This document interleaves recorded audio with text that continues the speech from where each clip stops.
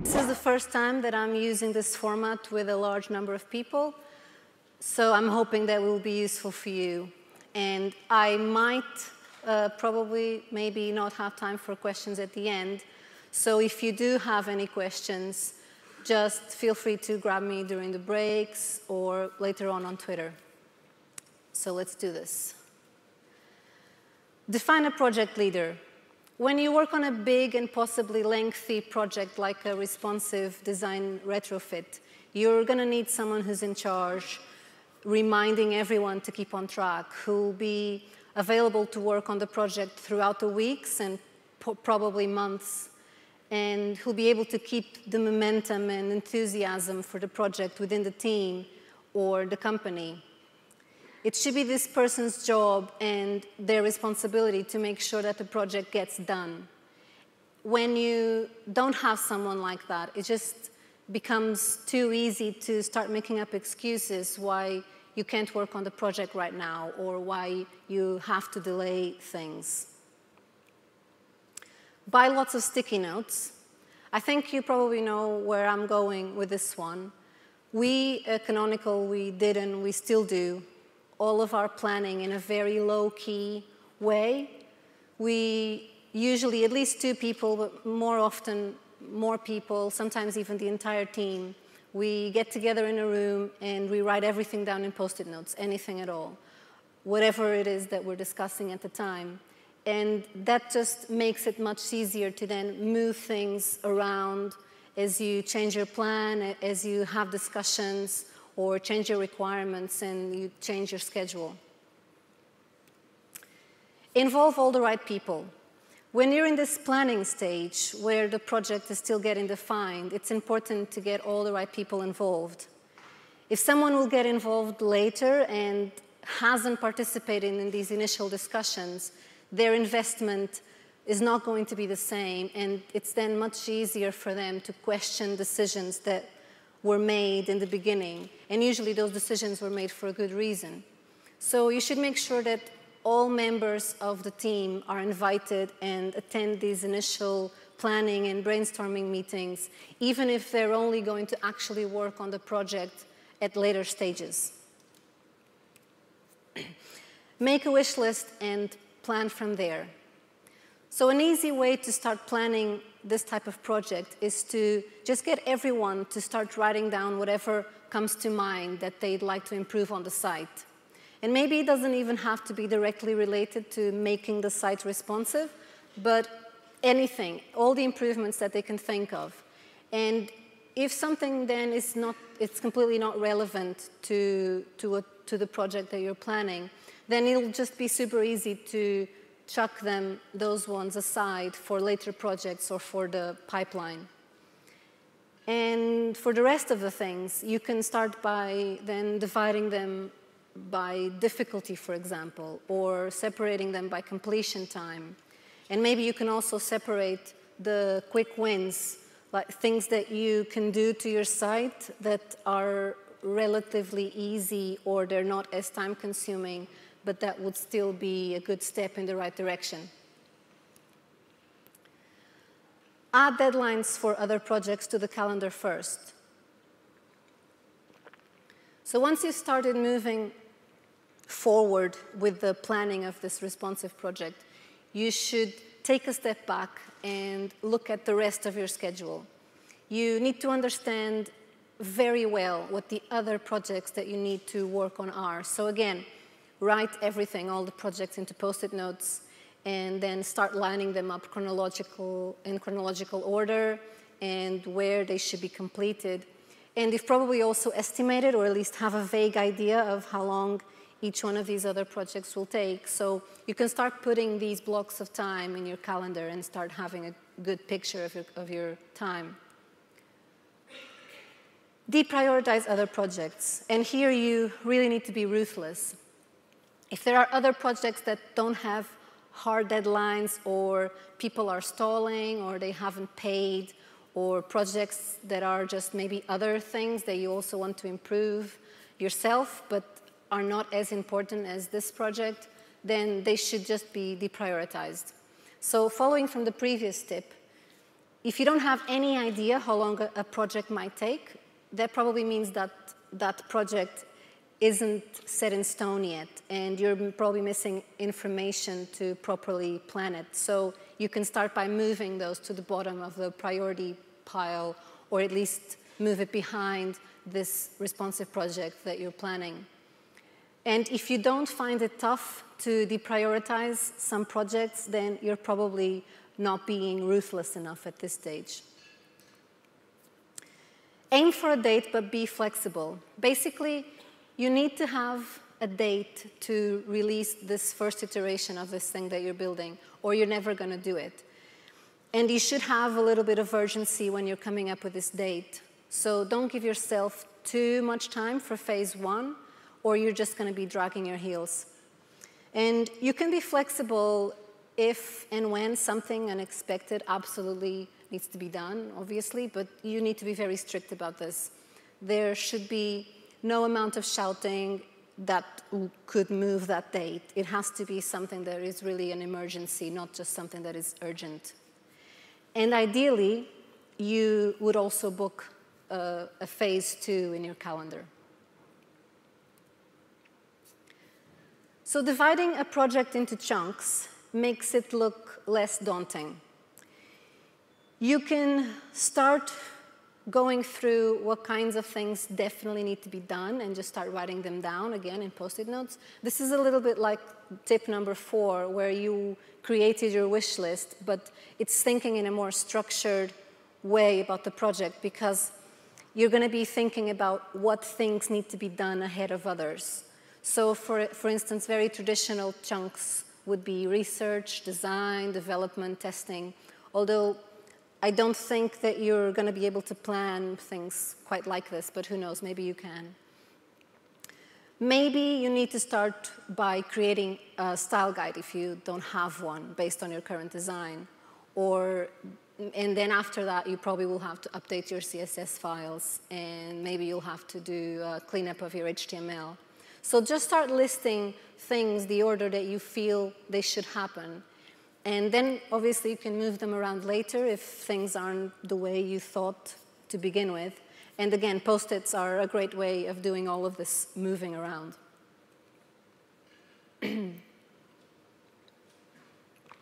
Prioritize what you want to do first. This is very important. And again, move the list of stuff that you wrote in your wish list in order of importance. I think you will have a good idea of what's a necessity and of what's just nice to have for your own site better than anyone else. You should allow some discussions with other people within the team or people involved in the project about, about why some things are more important than, than others. And you should also be prepared to lose some of those battles. You just have to make sure that the goal is always to provide a great experience for someone looking at your site on any kind of device. The goal is not to win your fights. Write down everything you will not do. I think this is probably the most important thing that you can do. You don't have the luxury of fixing everything you think that is wrong. So everyone should know what you can't do and what's out of scope. And this should be documented, and everyone that is part of this project should know it. In our case, we knew when we did this, we knew that we didn't have time to rewrite the content. So if a page was really long before, the page was going to keep being really long afterwards. We also knew that we were not going to have time to restructure the site, so our navigation was a little bit complicated, and it was going to keep being a little bit complicated.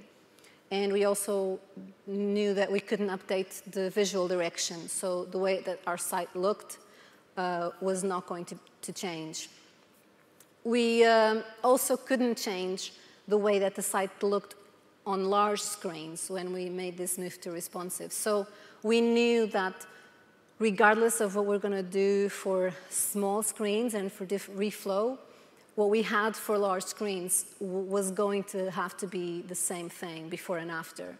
And this list of things was agreed upon very early on in the initial planning discussions, and it didn't change because we just did not have time to fix these things. Make a page inventory.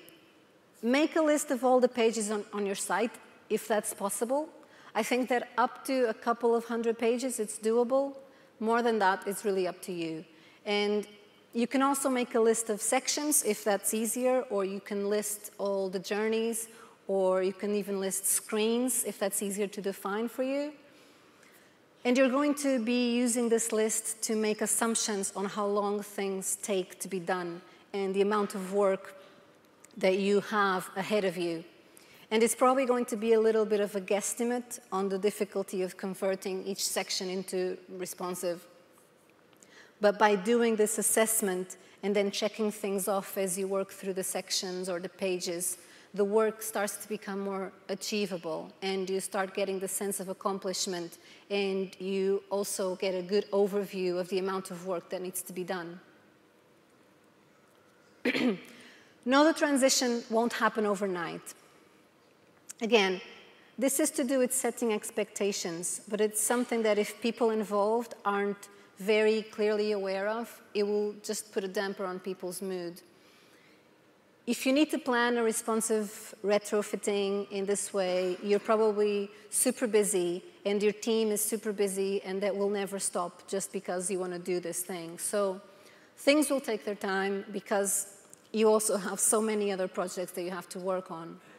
So that's why it's important to have a date when you're going to get that first iteration completed by. And that date might be a bit away in the hopefully not so distant future, but it will happen. And this is also why it's important to have that project leader that will hopefully keep cheering your team on until the project gets done. Allow plenty of time for device testing. When you're adding blocks of time to your schedule to work on the project and when you're estimating how long it might take you to do device testing, whatever your guess is on how long this is going to take you, you should multiply it by at least three or possibly even five. You really want to, you really want this to be working really, really well. That's why you're working on this project in the first place.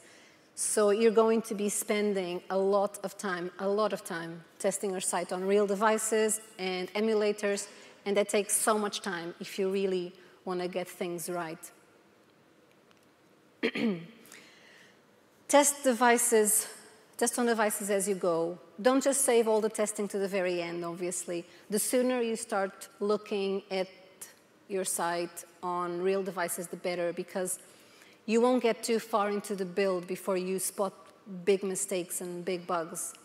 And also, you should test soon on the tricky devices and tricky browsers, because it's easy to just be a little bit afraid of what you're going to get on those, that you start leaving them for tomorrow, and then the day after, and the day after. And when you realize it, you have only been testing on the really easy ones. So older versions of Android and Opera Mini, for example, don't forget about those. And you might only get a couple of tricky issues that you need to fix, and then you'll just feel better about the whole thing.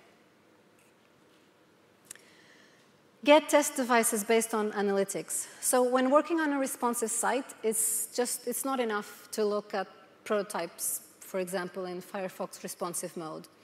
You can use an open device lab if there is one in your area. We're in, we're in a lucky position where there's quite a few around here, but it's much more fun and more practical to get your own set of devices. You can look at your analytics and buy the top three or the top five devices that your visitors are using, depending on your budget, which is what we did. We decided not to splash our budget on an iPhone or an iPad because we had plenty of those around the office. So we bought the other ones on our list. And when we started to get some people reporting bugs on the same device, or the same operating system and we didn't have that device yet, then we would go and buy it if it wasn't too expensive and slowly expanded our, our set of devices. And we also got hand-me-downs from other teams that had devices that they didn't need anymore or from people in our team that they, when they had phones that they didn't want to use anymore. Create a document with initial rules. this is one of the earlier steps in our plan. We created a document with some responsive rules. With, then with this document as guidance, the developers took a few days to work through the existing grid and to just add some responsiveness. In this document, we tried to follow common patterns, but we also tried to be opinionated where we could. And doing this meant that designers could be working on other things, probably other projects completely, and the developers could be moving the project forward.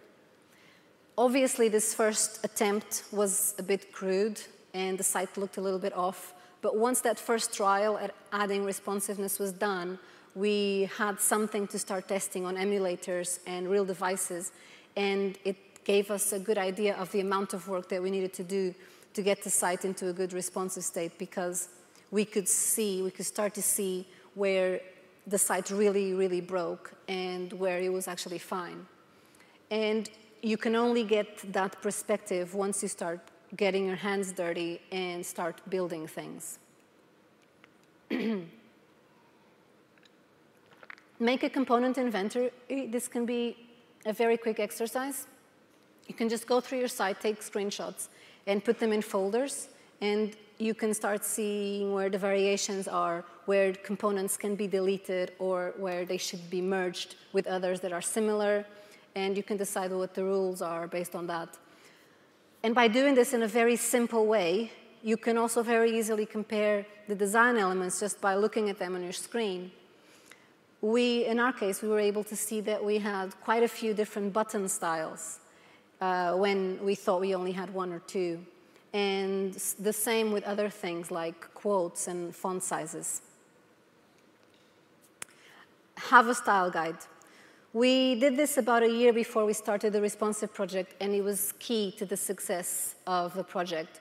We didn't create a new design, we just rationalized our current design patterns and our components and we cleaned up the duplicates. We merged ones that were too similar so that the style was easier to manage. And doing this gave us a really good overview of our site, and it helped us to focus on reusing our existing design patterns. And your style guide can be more or less detailed, but it will create a framework that, for the work that you'll be doing. And it also makes it easier for people in the team to communicate about design. Clean up your CSS. This follows on from the previous point. All the decisions that you make about your design and your components and your patterns should obviously be reflected in your CSS. Otherwise, there's no point in, in making them. And each project CSS is going to be very different. In our case, it needed a massive cleanup because it was completely full of duplicates and full of redundancy. It was full of things that looked too similar to other things, and they just had to be deleted or had to be merged. So this can be something that can be very time consuming, but it's, it's not something that everyone in the, in the team needs to be working on at the same time. You can have a developer doing this with another one, making sure that things aren't breaking while the first one is changing things. I mean, you will certainly have ways in your process to make sure that you don't break things too much. And if you don't, that's probably also another thing that you might want to look into as you go through this process.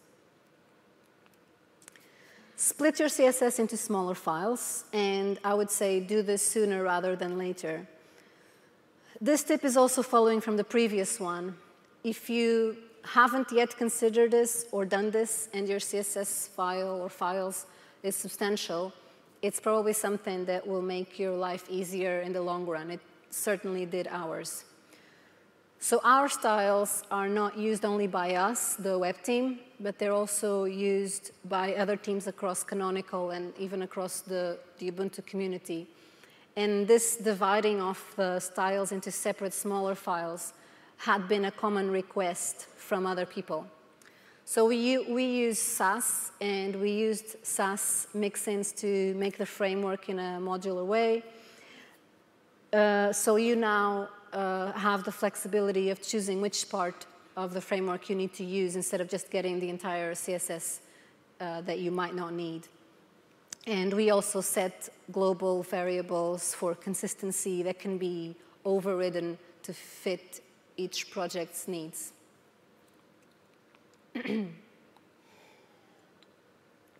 make sure you have a solid grid. Sorry, at least make sure you sit down and analyze your grid carefully and think of what the rules are and how it scales up and down for large and small screens and write these rules down. In our initial responsive document, for example, that I mentioned earlier, we stated that our 12 column fixed grid for large screens should scale down to six columns and then down to three columns for the smallest screens. And this really simple rule made it easier for everyone to understand how our designs should scale up and down. Convert your grid to percentages. This was another really useful thing that we did early on. We converted all of the units in our grid to percentages, but we left the site contained within a fixed width container. So to the user, it looked exactly the same before and after we did this change. And it did, took, it did take a little bit of time, but it was a big step in the right direction. And again, it was something that only one person needed to be working on at one time. Evolve instead of change. This is the key idea about not starting from scratch when you don't have that luxury. It's all about reusing what you can you don't have to you don't have time to work on everything that you, you think needs to be fixed. So you have to identify the things that work well in the way that you've done things before and in the way that you work in general. And there's plenty of things you can reuse. In our case we had a solid brand. We had our ubuntu font. We had a style guide that we had been working on earlier for example and some of the things that you can reuse are not necessarily perfect or not perfect at all, but they work well enough for you not to worry about them in the first stages and just focus on the bigger wins and the things that need more attention and that will make a bigger impact for the users of your site. Don't be afraid to copy. You've got to love ready-made stuff. Existing scripts, existing frameworks, grid generators, design patterns, anything that works for you and that can save you time to work through the trickier problems. So for the first iteration, we structured our documentation in the same way as Bootstrap's documentation, for example. We used the Imager.js script for our images, and we adapted the grid that was created by an online tool when we created our own initial responsive grid. When we created our first responsive navigation prototype, we had been looking at other sites' navigations and tried to see whether they could work for us. And talk to other teams in your company to make sure that your problem hasn't already been solved by someone else within your company. We were able, for example, to take the grid that another team had created for the mobile phone, and we used it in our small screen designs. Use everyone at once. This may sound counterproductive, but sometimes it's the fastest way to get things done.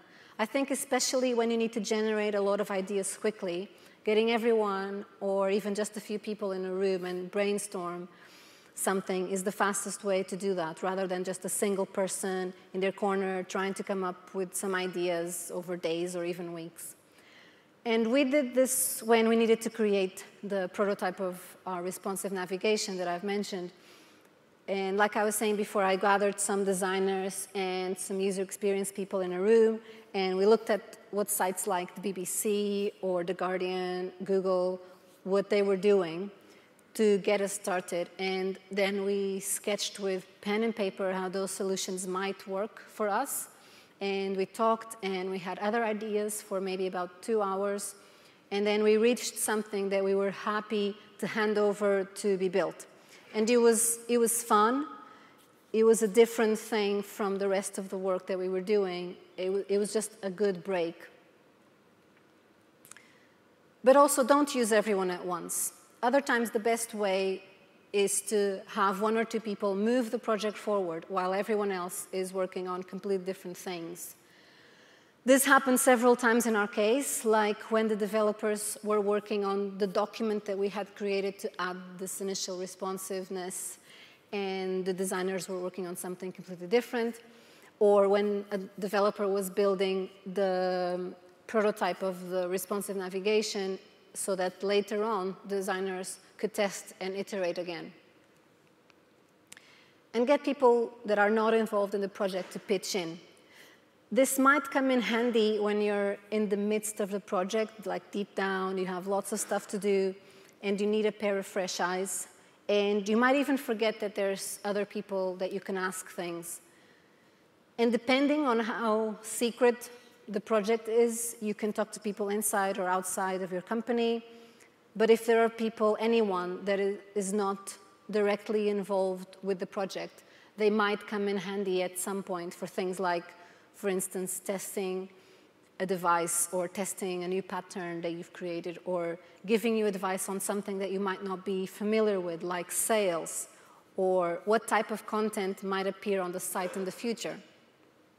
This is just something to keep in mind when you feel stuck or when you're feeling all alone. Quick and dirty UX. So let's take an example that I've already mentioned a few times. Ubuntu.com's navigation is tricky. It has several layers, and it also has a big fat footer. But instead of one designer or one UX or both taking a few weeks to create a responsive solution, to do research, to do wireframes, to do mock-ups. A few of us just locked ourselves in a room for two hours, looked at other people's solutions, came up with some ideas, and based on that discussion, we sketched with pen and paper an idea that then a developer made into a prototype that we could improve on. Then we looked at the prototype, we tested it in a few devices to see how it felt to use, and we gave the developer a list with a few more things to try and so on and so forth until we got something that we were happy with for the first iteration. So if you don't have time to follow a rigorous UX process, it's not the end of the world. I'm sure that you're capable and professional enough to understand how to get to a solution that works for your visitors and for your users without spending huge amounts of time on a very strict process. Experiment on smaller projects. This is a good way to test your code and the assumptions that you've been making along the way instead of just jumping straight into the big, scary main project. We tested our responsive typographic scale in a much smaller site than the main Ubuntu.com website. We also started using SVG images and Modernizr on another small project. And because these were much less conspicuous than the main site, we weren't so nervous to try things out. And it was easier to then take a step back if something didn't work, or if we had to fix any bugs, or if we had to just try something else entirely. What would you improve if you only had one hour? It's good to get into this kind of thinking because this means you can't possibly have time to fix everything.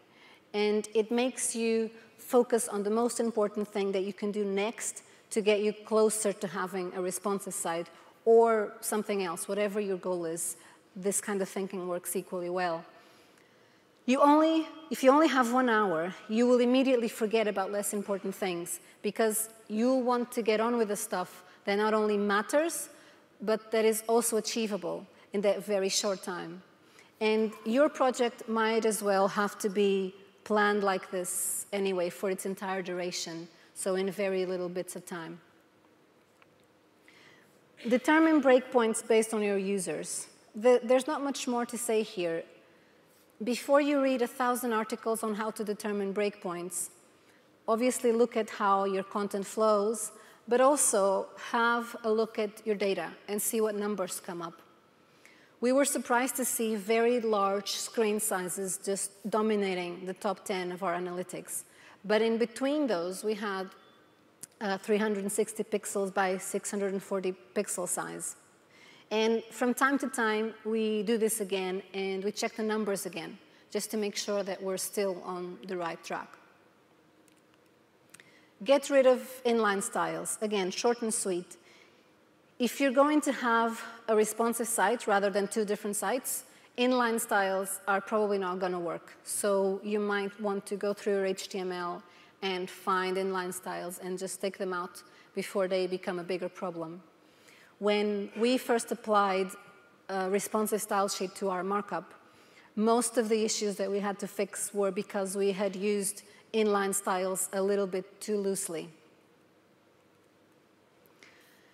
Remove floats and remove positioning rules from your CSS and just see how the content flows in that linear manner and test this experiment in small screen devices. This is another thing that we tried and that you can try to see how much work you have in front of you. And you might even have a nice surprise when you do this. And again, this is something that only one or two people can do on their own for the rest of the team to test later on. Make an image inventory. Before you make any decisions on how to treat images in a responsive site that already has content, you should understand what you're dealing with. What types of images are used on your site, who's creating them, how are they added to the site, in which locations, how the images play with the content, and are there different levels of importance, like user interface elements or decorative images, infographics, editorial images. Only after you've done this inventory, you will have enough information to decide what your site needs. In our case, we had five different types of images. We had pictograms, we had illustrations, which are a little bit more complex than just pictograms. We had photography, so lifestyle photography, photos of devices, we had also logos and we had background images. And each type was created differently and used differently. So after doing this inventory, it was only after doing this that we knew uh, what kind of solutions we needed to come up with for the different types. Compress bitmap images that don't need super high quality or transparency. A quick way of saving file size for us was to get the size of each section of the site through YSlow and PhantomJS, and then pinpoint the super large images and resize them for performance. And some of them were really, really massively huge, completely unnecessarily. So that was a super quick and super simple way of reducing file size. Store reusable image assets in a central location. So another obvious way of saving file size and improving reusability was to make sure that the pictograms and the logos that we were using across the site were all coming from a central location. We created a pictogram and logo package with the different color variations that we needed. Our pictograms are always created in SVG format, so they can be easily scaled to the size we need. And as a separate project, we also created an asset server that uses ImageMagick to do things like auto optimization or serving different image formats and sizes based on a simple query. Adjust type based on real devices. A, super quick way of start looking at typography is to just scale down, literally scale down your typographic scale proportionately and then you can adjust.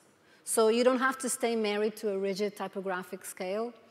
When you look at type on a phone, it's completely different than looking at type on your screen. Even if you're resizing the window on your screen, it's completely different. So by playing with sizes and, and spacing and testing it on devices, you'll know what feels comfortable. Don't keep two code bases for longer than you need to. You're going to have to release something at some point, even with lots of bugs and without improvements that in an ideal world you'd have time to work on. Maintaining two versions of your code can get unsustainable pretty quickly. So again, set a deadline for release and stick to it. You know it's not going to be perfect or exactly what you wanted the first time, but at least you're not duplicating work for yourself, which is something that you simply can't afford to do. So don't aim for perfect, aim for good enough, because you can always improve on something that has shipped. Keep a record of all decisions. People might be on holiday or sick or working from home that day, and you want to make sure that decisions are not challenged all the time. It's good to have discussions, yes, but it's also good to not have to review decisions and go back on them when you don't have that time to spare. So in our case, we used Basecamp to document decisions. That meant that if someone wasn't there, they could still participate in the discussion and be updated on the progress of the project, and also that everything was searchable. There are plenty of other tools that you can do this as well. And finally, talk and write about it. This is such an important part of going through a process like this. There are lots of people that are facing the same problems that you are. And just getting that glimpse of how other people deal with problems can be really useful. Even if the way that you deal with problems is exactly the same way as theirs, that can be useful because it's a way of validating that their way is not totally crazy, and it's a way for them to see that they might actually be doing something right. That happens to me quite a lot. And sometimes it's the very simple things that you do in your projects that other people haven't thought of that can help them lots. So please share. You can read more about our work in our design blog, and if you want to get in touch, if you want to know more about us or our projects, you can get in touch with the design team. Thank you.